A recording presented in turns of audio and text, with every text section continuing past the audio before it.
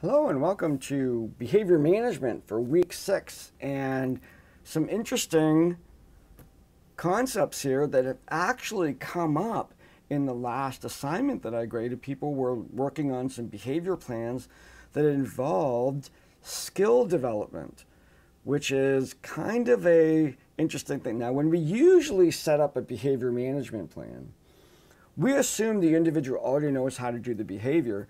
They're just don't have enough incentive to do it. However, if you're looking at something that's problematic, like someone being polite or someone that does not meet the stranger test, but or, or you know cleaning up their room or you know complex activities that actually require a set of skills, that's different. We can't just simply throw that out there and say clean your room and here's your reward unless we already know and have determined that they know how to do the skill. If they don't know how to do the skill, we can use the same methodology to develop a plan to teach them the steps of those skills. Now, I'll give you an example that I would often introduce in this class is there is a time when my daughter Mara was very reluctant to clean her room.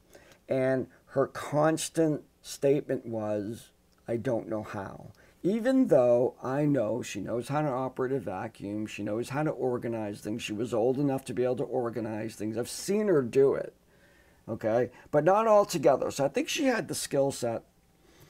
Had to teach her some things about, you know, how to use a dust rag, how to unravel the cord from the, the vacuum. Make sure all that is taught, and you're still having some motivation problems, so I decided I would test out whether or not she really knew how to do this. And what I did is I went up to her and I said, okay, Mara, here's the deal. I took out $20. Now, to a 10 year old, $20 is a fortune, right? So, $20. I'm going to give you $20 if you clean your room. And I said, you know, vacuum, make your bed, put all your toys away, organize your books, do, you know, clean your room. Her eyes got like saucers.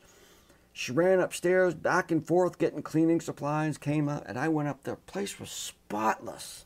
It was really amazing what she was able to do. Gotcha. I know you can do it now. Gave her the 20 bucks. And from that point on, she couldn't really use the I don't know how to do this. Now, had I done that 20, had I offered that 20 bucks and she didn't do that, that would have indicated to me that maybe, I doubt the $20, I know for her the $20 was a big incentive. However, it would have, it would have alerted me to the idea that maybe they really don't know how to do this or they really don't know where to do this or how or when to do this. Like one plan that came in, I mean, this is, this is classic, is uh, how do you fight fairly? You know when how do you discuss things that how do you make how do you handle disagreements in a marriage or between you and your kids or whatever? And you can say you know you can put a behavior plan there but if you don't have the skill set on when i'm in a argument with my spouse and i'm feeling angry what do i do? And your skill set is limited to yell bring up the past, whatever, you know, those kinds of things that we do that really sabotage good discussions, we first have to address the skill that someone needs, particularly in these complex interactions that we call social skills, make sure people know what to do and then reinforce that. And maybe, for instance, somebody who's feeling angry in a in a uh, disagreement has to, you know, they can think logically when they're not worked up, but they can think they get they get irrational when they are worked up. The plan might be, okay, here's we're going to introduce a new skill. When you're feeling that way, like you're about to get irrational, you call a timeout, you take 5 minutes, you write down what you were going to say, think about it and determine whether or not that's a good thing to introduce in that argument and then you come back I would not recommend not coming back. You know, I need a day. That's pretty. That's a pretty long time. That you don't want this to be a manipulation. Anyway, that's a whole other discussion. The point is developing a, a way to to work out. I don't say anything stupid and I can write it down and then I crumble it up and throw it away. Nobody has to see it. I didn't say it. That's what I was going to say because I was mad. I can now return to the discussion and continue. That's a new skill. You can't behavior management a skill that's not there. So today's work, even though it's a really, really tiny little chapter, is really huge because I'm asking you to reflect on education skills such as studying, reading, taking notes, taking tests, getting sleep, all of those things.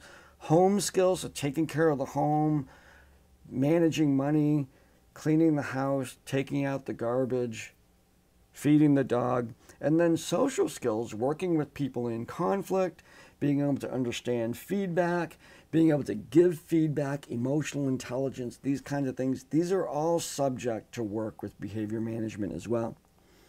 So I'm asking you to reflect on those as just a quiz to deal with this uh, this time. Certainly, uh, uh, as as I've been saying through this class, I haven't taught this class in a while. This class, this part is going to get enriched a little bit the next time that I teach it, but certainly it will be enriched by your presentation of your experiences and how you go about answering your questions in chapter six. So give this one some deep thought, even though it's a small chapter. And um, I look forward to your answers on the Chapter 6 quiz. Take care. Have a great week.